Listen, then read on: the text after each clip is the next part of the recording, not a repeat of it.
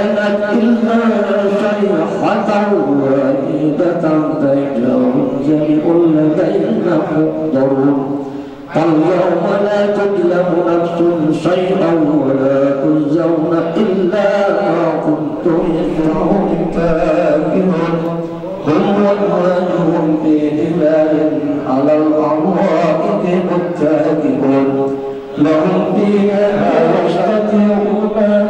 نحوهم وهم جند محضرون.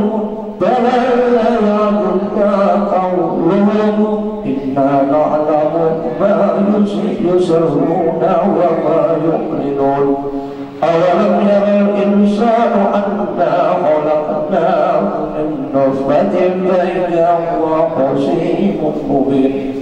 وذهب لنا مسامرنا أسرح الله قال من يجاب ويا ربي كل الذي أنساها أول مرة وهو بكل خلق عليم.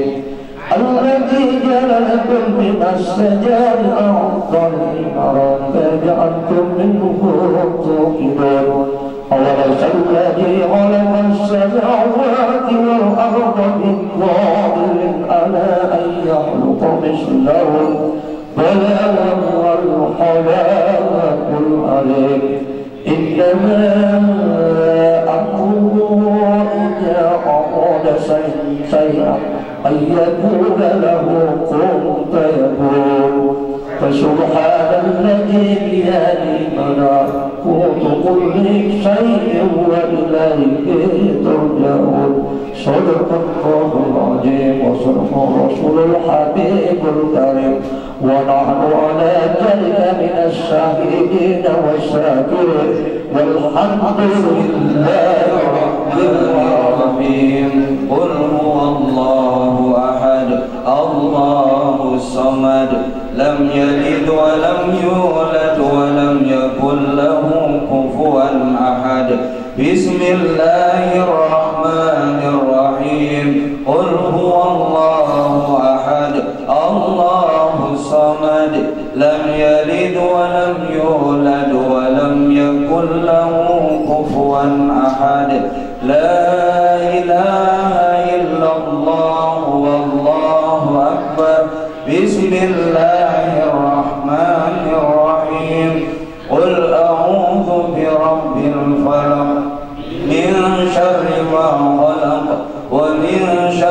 غاسق إذا وقب.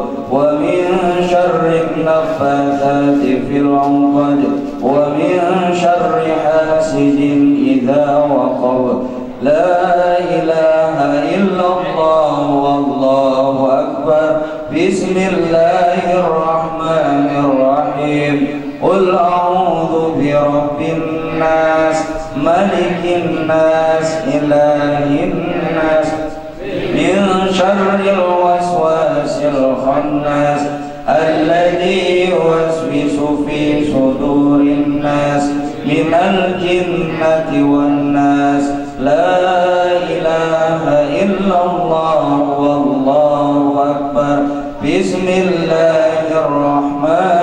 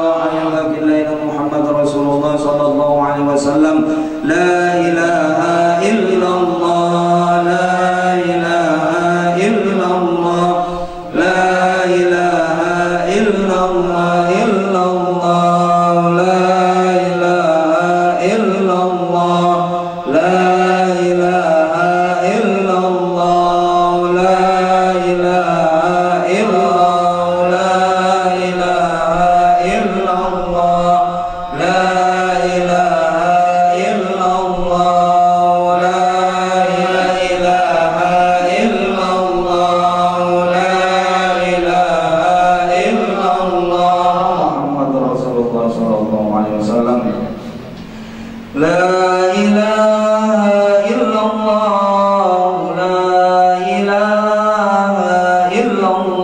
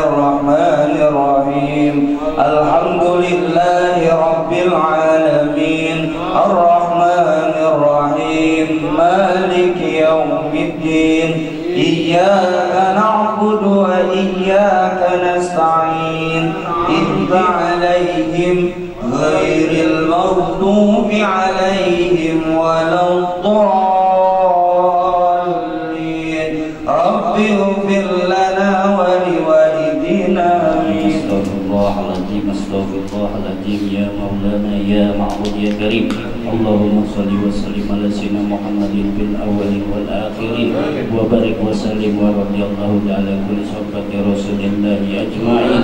الحمد لله رب العالمين. حمدا يوفي نعمه ويكافئ مزيده.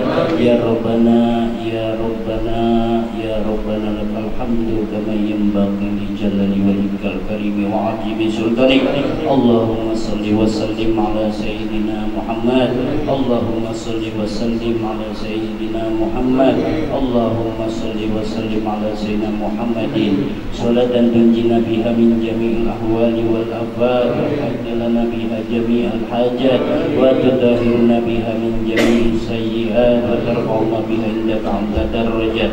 وتبلغنا بها أقصى الغايات من جميع الخيرات في الحياة وعبد الموت بهم وقبرهم والضائب لهم ولهن الحسنات وكفر عنهم وعنهن السيئات وأدخلهم الجنة مع الآباء والأمهات اللهم أنزل في قبرهم وقبرهن نورا ورحمة ومغفرة وشفاعة إلى يوم الدين يا رب الثواب ذلك في قبرهم وقبرهن منيسا وفي القيامة سفيا وإلا صراط نورا sitron wa hijab lahum wa lahunna minan nar. Wa fil jannati rafiq wa ila liqa ilahi subhanahu wa ta'ala. Wa sillatan malajina anamallahu alaihi minan Nabi wa siddiqin. Wa suadai wa salin wa sunnah ulaika rafiqa. Ya ayyatuhan nafsul mutmainna irji'i ila rabbiki raudiyatan mardiyah.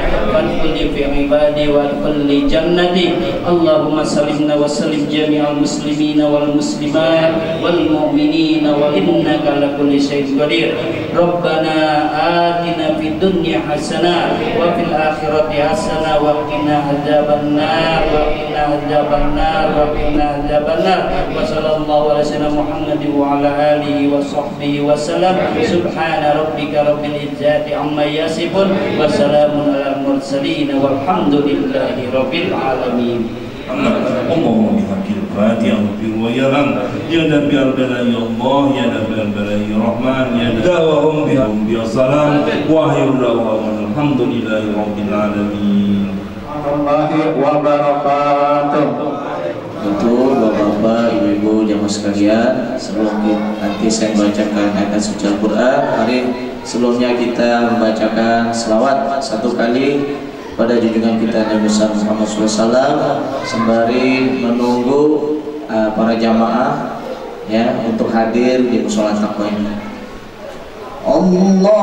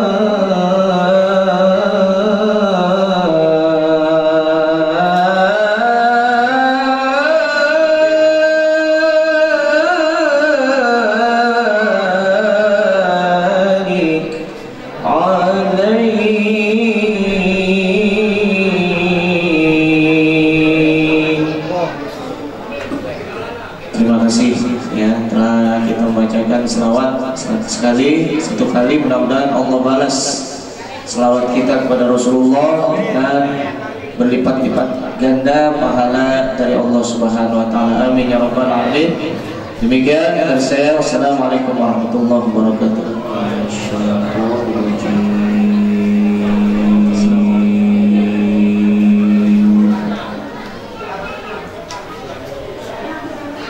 Bismillahirrahmanirrahim.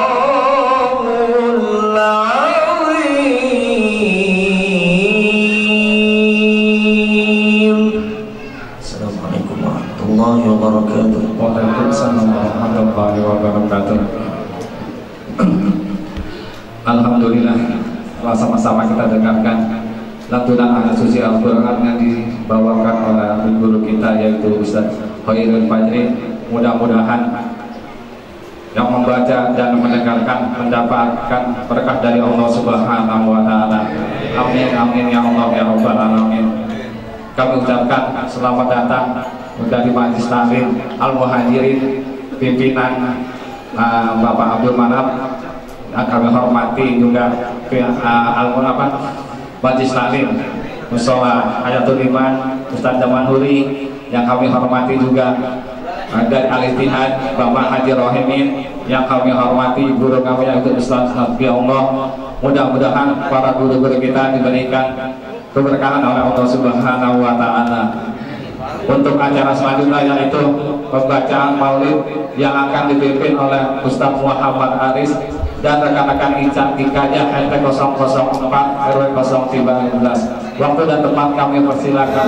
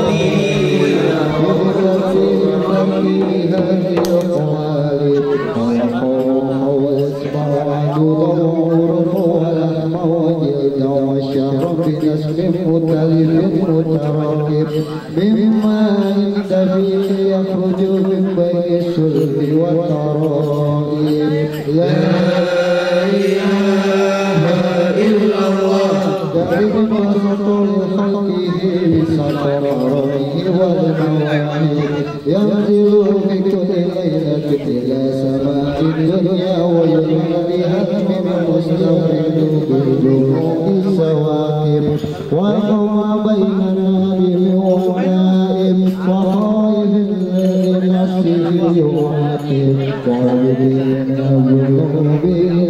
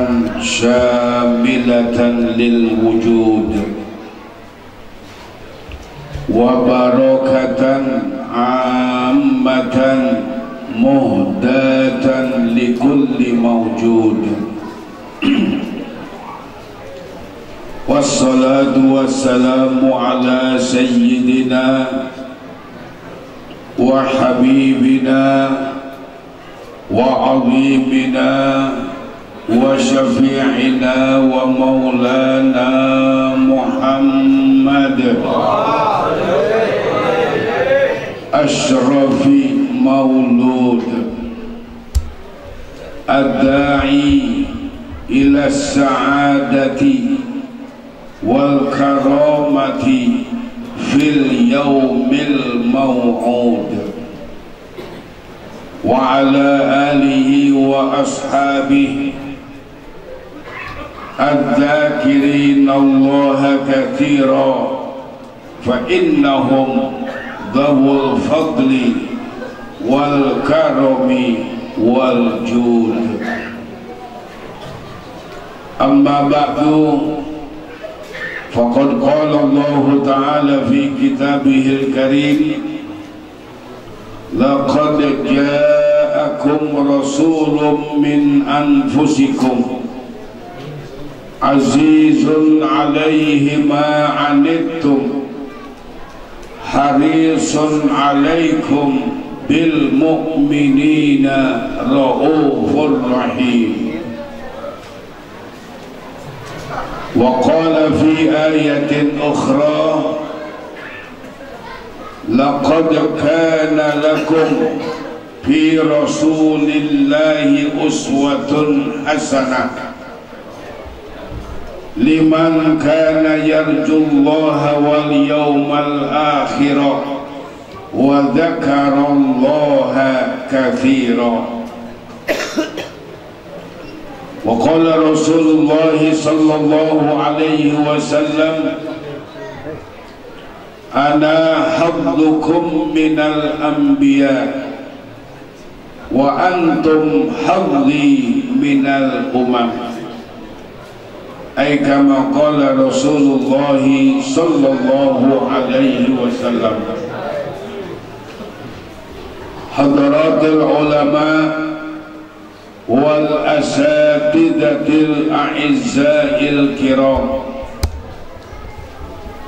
yang saya hormati dan saya muliakan para ulama, para asatidah, para guru, para pembimbing-pembimbing, baik yang laki-laki maupun yang wanita. Kita doakan mereka semuanya beliau-beliau Allah panjangkan umur mereka. Allah bahagiakan kehidupan mereka. Allah berkahi ilmu dan rezeki mereka sehingga terus bisa membimbing kita umat ke jalan yang diridhoi Allah Subhanahu wa taala. Ketua RW, Ketua RT, pengurus Musala At-Taqwa, serta Bapak dan Ibu, saudara-saudara pemuda dan pemudi, ada nggak pemudinya? Ada. Kalau pengemudi banyak, pemudi ada. Alhamdulillah di atas sampai di bawah. Oh, nyaur nyaur Alhamdulillah. Yang kita banggakan anak-anak muda Pak. Kalau kita mah ya pada bau tanah. Betul. Hah? duduknya juga ada melonjol sono melonjol sini benar. Ibu-ibu pada melonjol saya tahu di atas pada melonjol ada yang tiduran lagi mana selelegan jadi buat anak-anak muda penting memperingati maulid. Karena mereka perlu figur. Maka figur sentral kita adalah Nabi kita Muhammad Sallallahu Alaihi Wasallam. Jangan jadiin yang lain sebagai contoh Jangan jadiin yang lain sebagai idola Jangan jadikan orang lain sebagai pujaan kita Satu-satunya pujaan kita adalah baginda Nabi kita Muhammad Sallallahu Alaihi Wasallam Kenapa begitu Bu? Bu? Bu? Kalau bapak kelihatan ibunya kelihatan susah Ya kalau bapak sih insya Allah pada jinak-jinak udah kayak marmut.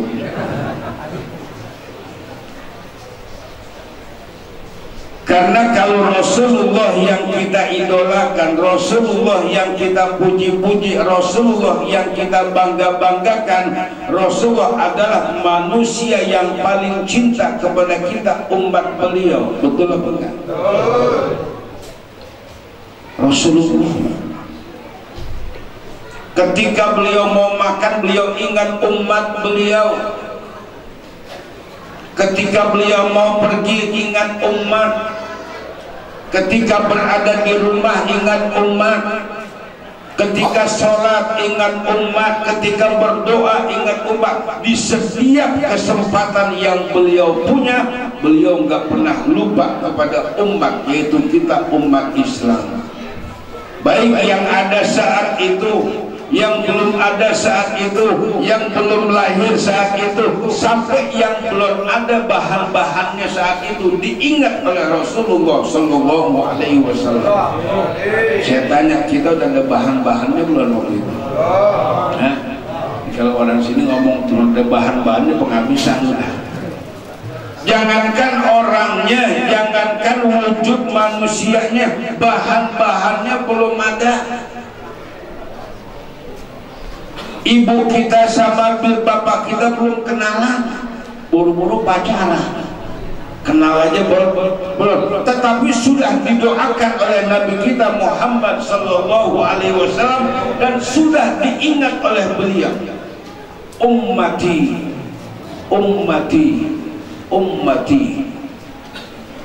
Bagaimana dengan umatku nanti?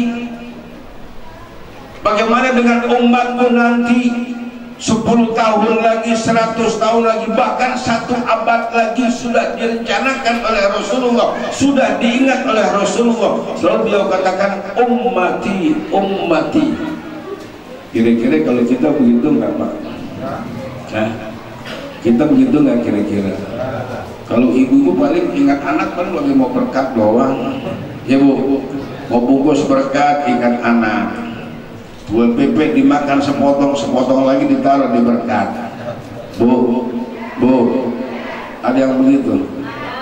Ibu di atas banyak kan ibu? Banyak ada kuenya. Ada, alhamdulillah amannya kalau ada kuenya. Cuman kadang-kadang ibu begitu dimakan kagak dibungkus aja dibungkus. Tahu aja. Itulah Rasulullah Bapak dan Ibu sekalian Kita belum lahir Kita belum ada Kita belum hidup Sudah dipikirkan oleh Rasulullah. Sering beliau mengatakan Ummati Ummati Ummati. Bagaimana nanti umatku? Dan bukan masalah makanan yang beliau pikirin Bagaimana nanti makan umatku bukan. Bagaimana dengan harta umatku? Tidak yang beliau pikirkan bagaimana iman umatku. Karena banyak nabi yang lain pak lepas tangan sesudah meninggal dunia betul? Betul enggak? Lepas tangan.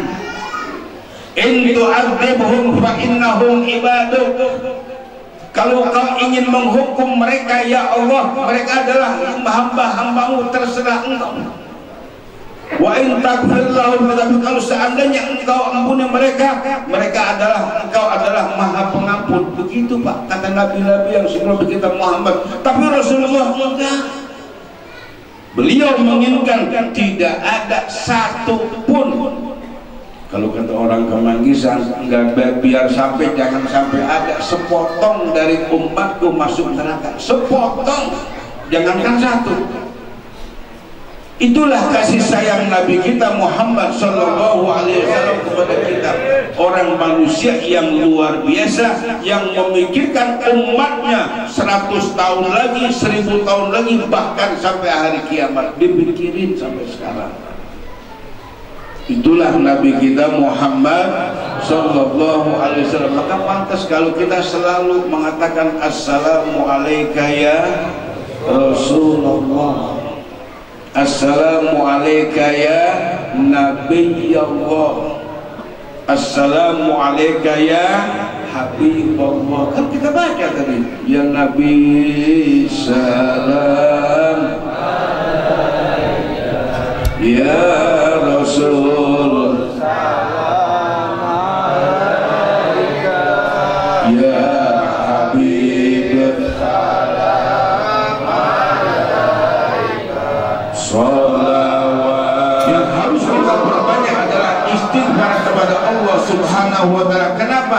kita nggak tahu berapa dosa yang kita lakukan pada hari ini. Yang kita ingat, yang kita tidak ingat, bahkan yang tidak kita ingat jauh lebih banyak daripada yang kita ingat. Kalau dosa kan begitu. Amin ya rabbal alamin. Ya satu. Saya mau ngomong sampai 10 ini baru satu. Ambil berapa kira-kira? Hah? Ya udah, yang delapan simpan buat minggu depan. Baca semua jadwal lu sekarang. Ya banyak. ya, jadi begitu yang pertama. Kita menyambut kelahiran Nabi kita Muhammad Sallallahu Alaihi Wasallam dan kita mengambil keuntungan sebesar-besarnya. Salah satunya mana? Ya asal dosa-dosa kita diampuni aja dan luar biasa. Itulah yang dikatakan oleh Rasulullah Sallallahu Alaihi Wasallam. Setiap umatku membaca salawat atasku, maka yang pertama kata Allah apa? Kata Rasulullah, kata Allahu lahu asro hasanat. Allah tetapkan buat dia sepuluh kebaikan. Ini pelajaran yang kemarin. Benar? Ingat gak? Kalau ingat berarti wah, alhamdulillah ingatkan pelajaran kuat dalam kitab hadis muhtarul hadis. Jadi yang pertama apa? Kata Allahu lahu asyru hasanah Allah tetapkan buat dia 10 kebaikan. Kebaikan apa? enggak dirinci oleh kebaikan aja lah kemudian yang kedua mana? wa maha anhu asra sayyiat Allah hapuskan buat dia 10 keburukan. Bisa jadi mau celaka gara-gara jadi gara-gara baca. Dan yang ketiga kata Rasulullah sallallahu alaihi wasallam ya apa yang ketiga? Wa rafa'alahu asra darajat. Allah angkat untuk dia 10 tingkat derajatnya. 10 tingkat. Satu tingkat berapa meter kira-kira? 4 meter mah kata kita insinyur kalau 3 meter panas 4 meter sedang 5 meter lebih enak lagi ademan lagi urusannya nggak pakai AC tuh Nah, kalau 3 meter pakai AC udah. Ini 3 berapa meter nih? Nah, tetapi derajat yang diangkat oleh Allah Subhanahu wa taala buat orang yang baca selawat dan tidak pernah menghitung-hitung selawat lebih daripada itu. Asra darajat Allah angkat 10 derajat. Amin. Amin. Ya rabbal alamin. Dan yang terakhir waradda alaihi mithlaha. Dan Allah jawab Allah balas dengan yang sebaik salawat yang dia baca. Amin. Ya rabbal alamin. Dua. Hitungin aja ya. Baru dua. Ya kan? Tenang aja tenang. Sih kita udah pada ngantuk. Pada ngantuk ini nggak lain obatnya kecuali tidur. Ya jadi biasa kita begitu. Kalau malam Senin rada ngantuk malam Minggu malam Minggu rada lemes. Besok aja malam Selasa udah lemes lagi lah ya lemes lagi habis kerja habis tugas. Yang ketiga Bapak dan Saudara sekalian saya teringat ini mohon maaf. Dengan ayat Al-Quran. Surah Al-Baqarah ayat 246 mengisahkan tentang Bani Israel. Buat apa Bani Israel kita sebut-sebut? Buat pelajaran buat kita. Ya. Apa kata Bani Israel? Mereka minta kepada Nabi mereka ib'at lana malikan nuqatil fi sabilillah. Wahai Nabi disebutkan nabinya namanya Nabi Samuel. Nabi Samuel pernah dengar Nabi Samuel? Nah, nggak pernah. Bapak pernah dengar? Ada Nabi Samuel, ada Nabi Michael, ada, ada Nabi Daniel, ada, Daniel ada. Nabi ini bukan Rasul. Beda Nabi sama Rasul apa? Hah? Apa beda Nabi sama Rasul? Ada. Rasul dan Nabi sama-sama mendapatkan wahyu dari Allah. Tetapi kalau Nabi cuma untuk dirinya, tidak untuk orang lain. Makanya kalau Nabi ada sifat taklir, tidak wajib menyampaikan apa yang dia terima kepada umat manusia. Allah kasih wahyu iya, Allah kasih ajaran iya, Allah kasih kebaikan iya. Tetapi dia tidak wajib menyampaikannya kepada umat manusia. Tapi kalau Rasul Allah sampaikan kepadanya wahyu dan Allah perintahkan untuk menyampaikan kepada umatnya. Itu namanya roh Rasul Muhammad Rasulullah apa Nabiullah dua-duanya. Makanya disebut dengan Abdul Anbiya wal Mursalin. Ashraful Anbiya wal Mursalin. Tadi kita baca tuh Ashraful Rusli ya asrofur rusli. Itu sama. Asroful mursalin. Jadi nabinya namanya Nabi Samuel. Orang Bani Israel minta kepada Nabi Samuel wahai Samuel wahai Nabi kami udah lama kami gak punya pemimpin. Sehingga karena gak punya pemimpin kami ditindas terus kami dijajah terus, kami disepelekan terus, kami dizolimi terus. Kenapa? Karena kami nggak punya pemimpin. Orang Israel begitu Pak, dikasih pemimpin, pemimpinnya dicuekin. Nggak punya pemimpin, minta minta pemimpin, pemimpin. maka kata Nabi Samuel inna allaha qad ba'atha lakum taluta malika sesungguhnya Allah sudah mengutus untuk kalian seorang pemimpin yang namanya to to Tolut. Ada nggak dalam Al-Quran nama Tolut? Ada. Pak. Pak. Nah, bukan bikin belah nanti eh, Pak. Ada nggak ada nggak nama pemimpin namanya Tolut?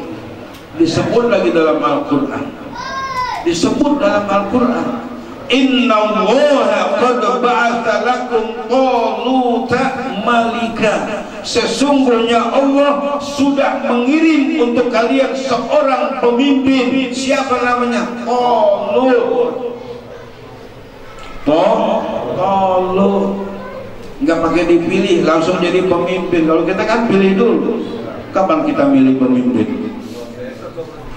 Hah? 27 November yang repot Pak RW lagi Pak RW? Allah sudah utus Tol sebagai pemimpin. Apa kata mereka? Anna yakunu lahal mulku walam yu'ta sa'atan minal wahai nabi wahai nabi bagaimana mungkin Tolut jadi pemimpin kami? Karena Tolut itu nggak punya duit digambarkan Ro'iyat sebagai penggembala kambing. Mereka nggak rela dipimpin oleh tukang gembala kambing. Maka protes Pak. Protes. Jadi kata Bani Israel yang mestinya jadi pemimpin yang punya duit. Walam yukta sa'atan minal mal. Tolun itu nggak pernah diberikan harta. Nggak pantas memimpin kami. Pak Bu yang kita pilih yang bagaimana? Yang bagus apa yang punya duit. Hah? benar ah ngomongnya kadang-kadang begitu. Gue sih siapa yang ngasih gue duit gue pilih. Hah? betul nggak? Betul nggak? Kalau seperti itu berarti kita sudah ikut mengawalkan ikut kebiasaan Bani Israel.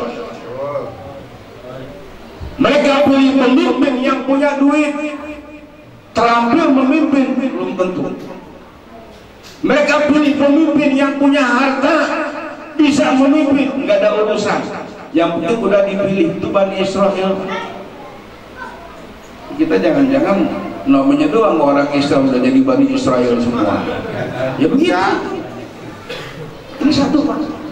Ya, dikit lagi kan dikit lagi anna yakunu lahul mulku walam yu'ta sa'atan minama ini Al-Quran Pak yang mengatakan Al-Quran. Bagaimana mungkin Tolut memimpin kami? Bagaimana mungkin Tolut menjadi pemimpin kami? Dia nggak punya harta orang gembala kambing. Ini pemimpin buat kita adalah pemimpin yang kita pilih bukan cuma punya harta tetapi punya ilmu dan pengetahuan. Kita kata begitu anggota DPR oh benar. Pimpinan partai? Oh. Kita kata ada yang pintar ada yang pas ada yang cocok kata kita. Betul. Kata partai emang gue pikirin lu benar. Kita kepikirin aspirasi kita tidak kepikirin akhirnya oh, udah begitu. Mereka cuma mengatakan gak apa-apanya gak punya harta gak punya harta pak. Kami gak bisa dapat apa-apa kalau yang itu kalian pilih. Betul. Akhirnya apa yang terjadi? Ya pilih dah sendiri. Mau pilih yang mana? Ya mau pilih yang mana? Nomor satu nomor dua apa nomor tiga? Hah? tiga tiganya waduh saya nggak nyuruh ya. Ntar saya lagi yang dibilang nyuruh. Saya pikir ini yang nyuruh nih. Bukan. Ini kisah dalam Bani Israel sengaja saya ungkap di sini supaya Pak kita tahu kita ngerti. Ternyata Al-Quran pun berbicara tentang memilih pemimpin. Bagaimana cara memilih pemimpin ada dalam Al-Quran Cuma kalau pas pemilu, pas pilkada kita lupa semuanya, betul? Betul. Di luar ngomongin ustaz daripada ceramah, ustaz daripada kasih ginian, begitu masuk dari suara tetap aja diingat yang ngasih amplop, yang ngasih amplop, betul? Betul apa jelas ada yang paling banyak dipimpin dipilih oleh anggota DPR itulah yang memimpin betul. Ya, kita nggak dapat apa cuma recehan doang dikasih kita betul. Betul.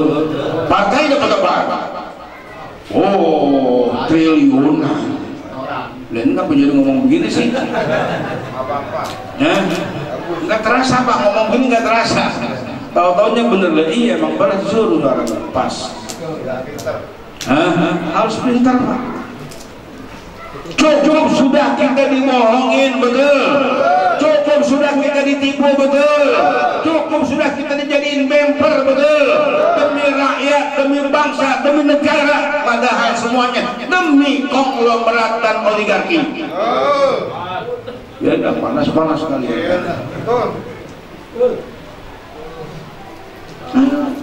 Kapan lagi kita membeli pemimpin yang bagus? Nggak ada yang bagus udah jangan dibeli begitu saya dah. Aduh ya. Qala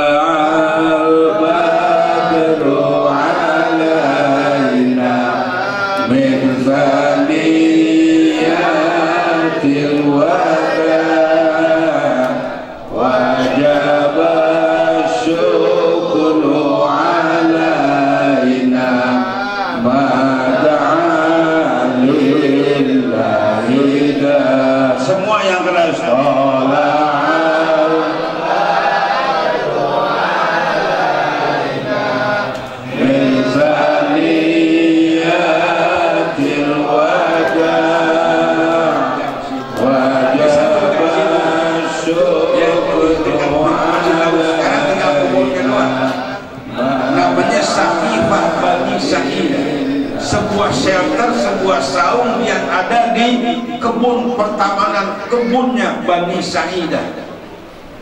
Apa yang terjadi di situ, Pak? Yang terjadi di situ sesudah wafatnya Rasulullah Shallallahu Alaihi Wasallam yang terjadi apa? Yang terjadi tawaduk dan masing-masing setiap umat Islam. Sayyidina Umar mengusulkan kepada Sa'ad bin Zurarah pemimpin kaum Ansar wahai Sa'ad silahkan kaulah yang memimpin umat Islam kenapa? karena kalian adalah kaum Ansar pantas kalian penolong-penolong saudara kalian dari Mekah kalian rela mengorbankan korban kalian dari Mekah bahkan dikatakan wa yuthiruna ala anfusihim walau kana bihim surah Al-Hasyr Penduduk Madinah digambarkan wa yu'thiruna ala anfusihim. Mereka tidak pikirkan diri mereka. Yang penting mereka bisa membantu saudara-saudara mereka yang hijrah dari Mekah, yang punya tanah kasih tanah, yang punya rumah kasih rumah, yang punya pertanian kasih lahan pertanian, bahkan sampai yang punya istri lebih dari satu, satu orang dia hadiahkan kepada penduduk Mekah yang hijrah, yang hijrah. Ini Madinah. Makanya dengan rendah hati Sayyidina Umar mengatakan Aku serahkan kepada kau Sa'ad bin Zurarah Apa kata Sa'ad bin Zurarah? Oh gak bisa. Soal menolong kami memang iya. Tapi soal keimanan kalian lebih dulu beriman kepada Allah dan Rasul. Kami 10 tahun, 13 tahun sesudahnya. Kalian dari gimana? Muhajirinlah yang lebih berhak untuk menjadi khalifah. Hebat Masa yang begitu damainya digambarkan penuh dengan pertikaian sudah siap dengan pedang masing-masing? Bayangkan yang ngomong Islah Basrawi. Di Youtube kan cukup. Tadi Youtube klik Islah. Namanya. Saya nggak sebutin siapa dari mana pokoknya namanya Islah Basrawi yang memfitnah sahabat. Memfitnah sahabat dikatakan bertikai, bertengkar, bahkan siap perang demi mengangkat seorang untuk menjadi khalifah. Apa yang terjadi kata kata siapa saat bin Zurarah, wahai nggak bisa, kami nggak bisa.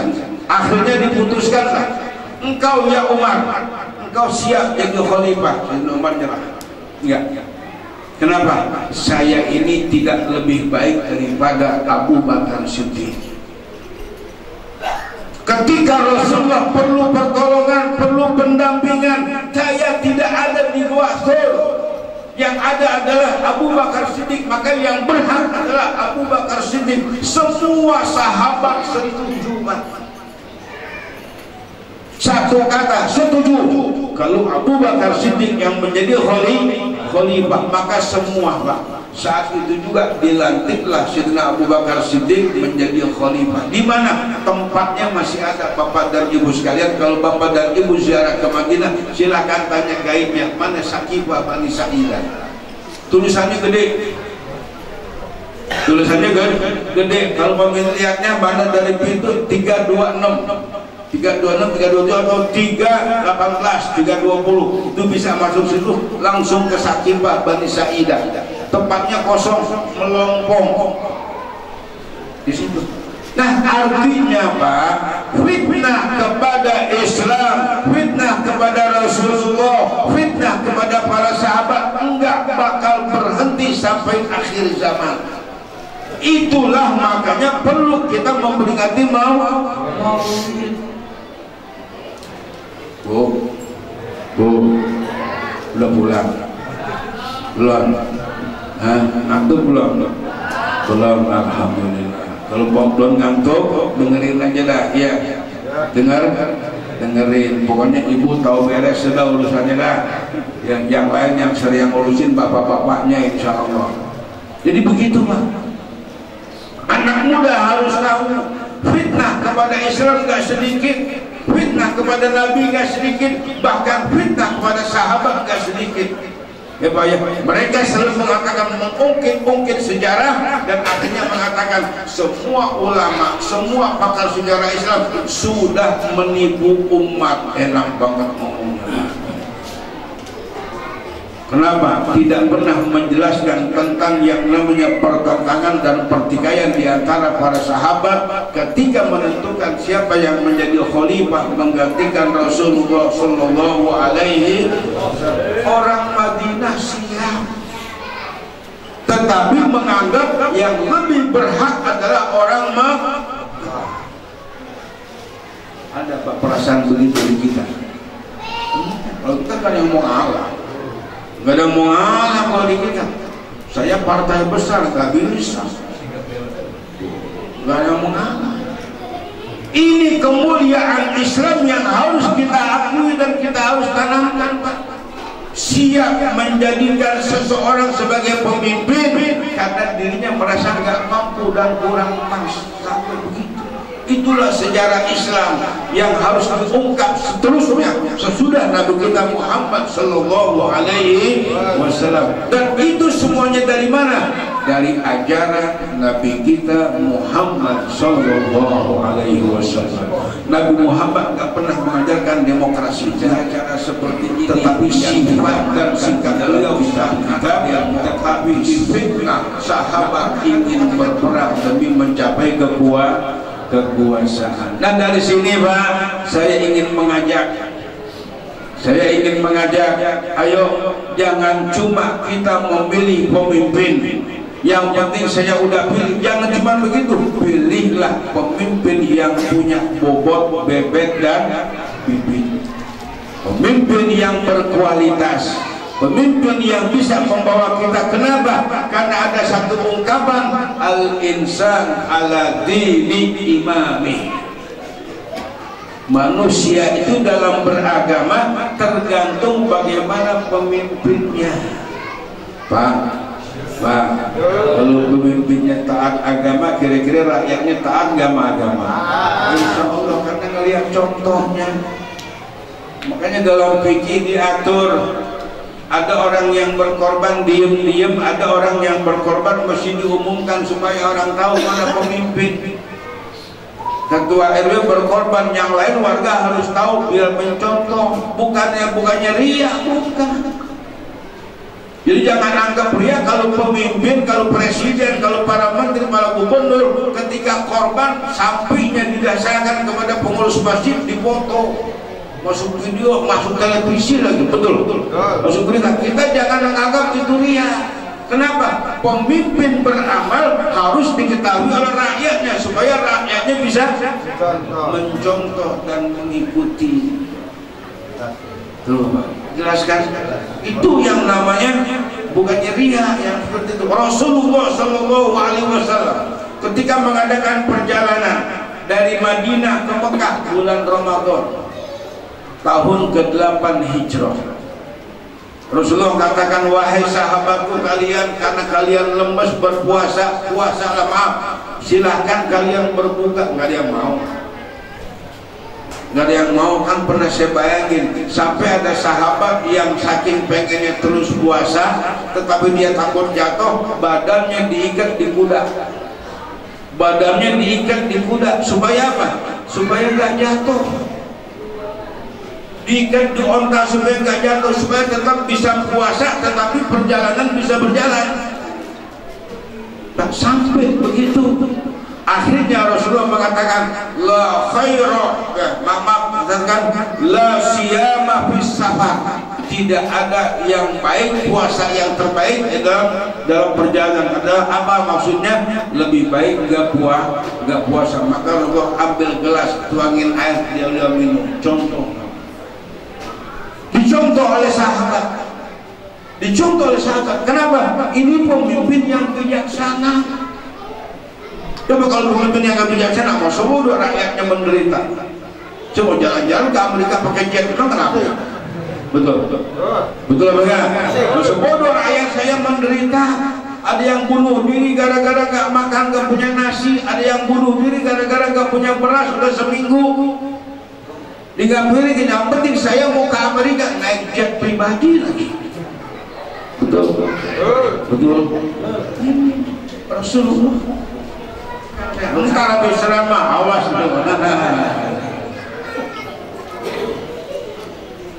ya Nabi salam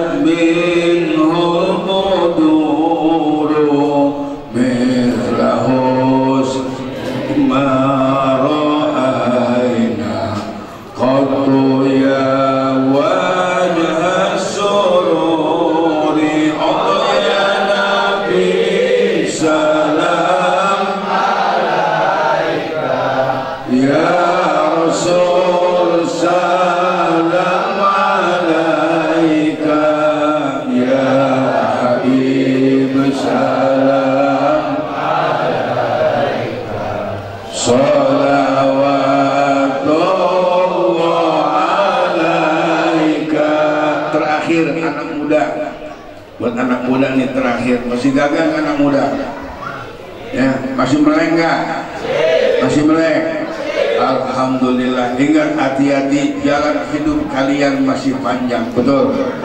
Jangan rusak dengan perbuatan yang sesaat. Judi online Masya Allah. Ini lagi marak-maraknya Pak. Betul? Betul? Betul enggak ya lebih baik jangan main gituan. Kenapa? Sekarang kalau dulu orang berjudi Pak di bawah puunan dia main remi, dia main capsa, betul? Sekarang kagak di kamar masing-masing udah bisa main judi. Kira-kira bahaya apa enggak? Bahaya apa enggak? Siap berantas judi online? Siap berantas judi online? Akbar! Yang kaya orang lain, yang kita yang yang gak dapat apa-apa kuota habis gara-gara judi. Online duit habis gara-gara judi. Bahkan ada yang rumah kejual gara-gara judi online. Betul enggak? Maka banyak yang bunuh diri. Banyak yang bunuh diri.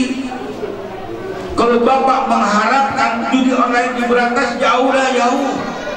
Jauh Walaupun judi yang kelihatan tidak udah dilarang, ya tapi judi online ini sekarang ya Allah makin mengkhawatirkan. Kuota habis gara-gara itu sekali kali sekali beli kuota gocap. Seminggu sekali kali gocap berapa duit? Ya saatnya anak-anak muda menimpa dirinya membina dirinya untuk menjadi pemimpin masa depan kan begitu rijalul maqsub badul yaum rijalul hari ini adalah anak-anak muda dengan segala kreativitasnya, dengan segala keberuntungannya, dengan segala semua kegiatannya. Walijalul ghar tapi nanti 10 tahun lagi, 15 tahun lagi, 20 tahun lagi kalianlah yang akan mengisi musola at-taqwa. Betul. Ini musola perlu dilanjutkan kalian yang akan jadi imam niyatil mubarakah ya wa ila hadratin Nabi Muhammadin sallallahu alaihi wasallam al-Fatihah Bismillahirrahmanirrahim. Alhamdulillahi Alamin. Ar-Rahmanirrahim. Maliki Yawmiddin. Iyaka na'budu wa نستعين. اهدنا الصراط المستقيم. صراط الذين أنعمت عليهم غير المغضوب عليهم ولا الضالين. آمين. أستغفر الله العظيم لك الحمد يا مولانا يا معبود. بسم الله الرحمن الرحيم. الحمد لله رب العالمين. اللهم صل وسلم على سيدنا محمد وعلى آله وصحبه أجمعين. اللهم إنا قد حضرنا ذكر مولد نبيك العظيم ورسولك الكريم. فاجعلنا من من أحبائه واجعلنا من أحبائه واجعلنا من خيار أمته واجعلنا من أهل شفاعته عند ربنا برحمتك يا أرحم الراحمين. اللهم ya Allah inna nas'aluka ridhoka wal jannah wa na'udzubika min sakhatika wan nar. Ya Allah dengan menghadiri acara ini kami harapkan keridhaanmu ya Allah. Kami harapkan cinta kami kepada Rasulullah semakin besar semakin tinggi dan semakin memuncak sehingga menjadi amal ibadah kami di hadapan Allah subhanahu wa ta'ala. Allahumma ya Allah bimbing dan binalah anak-anak muda kami ya Allah untuk menjadi anak-anak muda yang soleh hasanah wa qina adzabannar wa sallallahu ala sayyidina Muhammadin wa ala alihi wa sahbihi wa sallam walhamdulillahi rabbil alamin agarallahu wa iyyakum ajma'in wassalamu alaikum warahmatullahi wabarakatuh saya dari pengurus dan panitia mengucapkan banyak-banyak terima kasih kepada para jamaah musola takwa, para donatur, para warga RT 004 yang telah membantu sehingga terlaksananya acara kegiatan ini.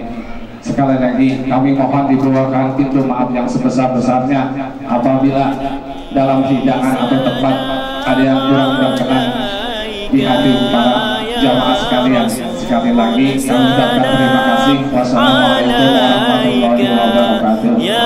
Dan mohon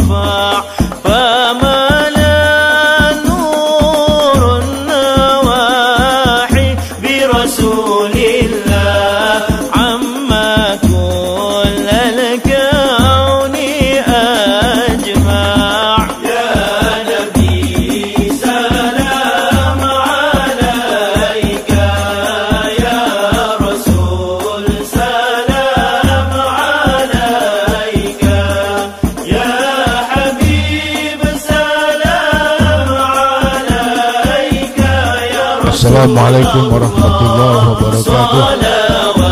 Pada malam hari ini Alhamdulillah Kita sama pengurus musola dan remaja. Ya, Terbentuklah dan terlaksanalah sebuah acara peringatan maulid Nabi Muhammad Sallallahu Alaihi Wasallam di musola At-Taqwa.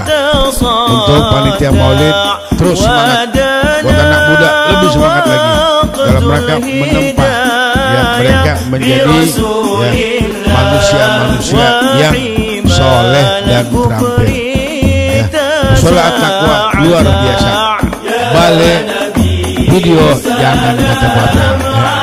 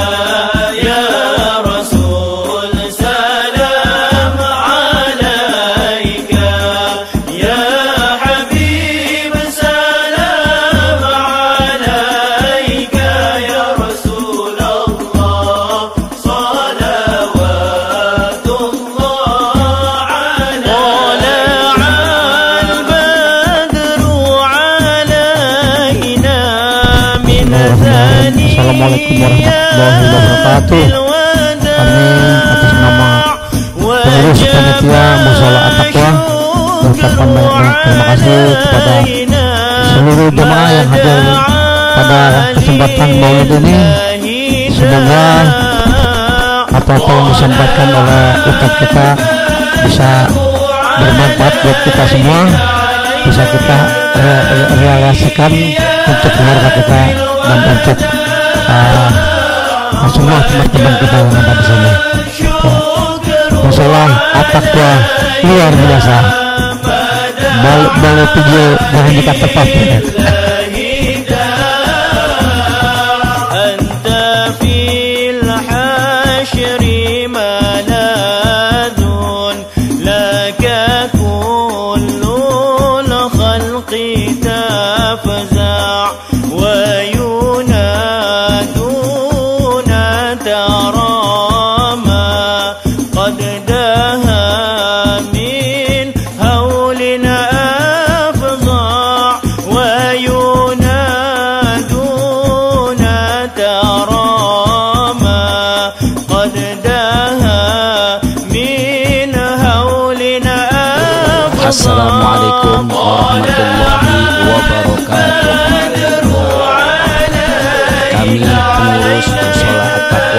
Mengucapkan ribuan terima kasih kepada para jamaah yang telah berkenan hadir memeriahkan peringatan Maulid Nabi kita Nabi besar Muhammad sallallahu alaihi wasallam. Mudah-mudahan di tahun-tahun berikutnya, di tahun-tahun yang akan datang, peringatan Maulid di Musola At-Taqwa akan At-Taqwa luar biasa. Balik video jangan kata pape.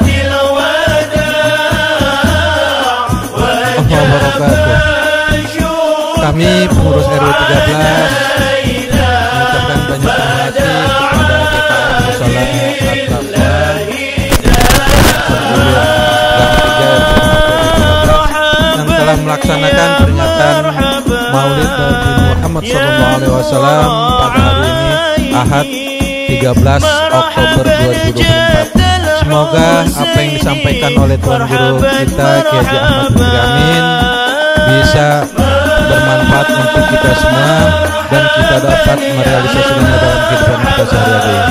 Terima kasih. Selamat kepada para pemuda dan para DKM dan semua seluruh elemen yang telah melaks- sukses melaksanakan kegiatan pada malam hari ini. Musola takwa luar biasa. Bel video jangan kate pape.